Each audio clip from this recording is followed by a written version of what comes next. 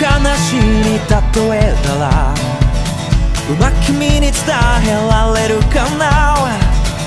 この想いをこの距離を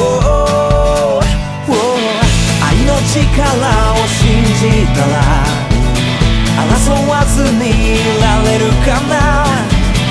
どの想い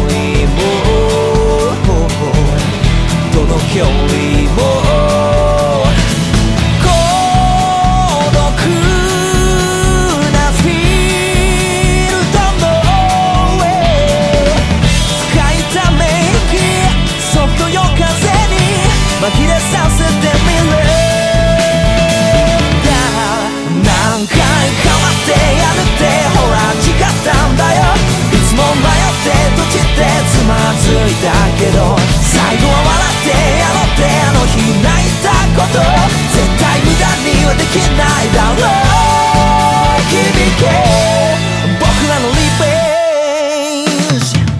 勝ち負けになんてこだわんなと悟った妙な顔で言われても。そんな綺麗事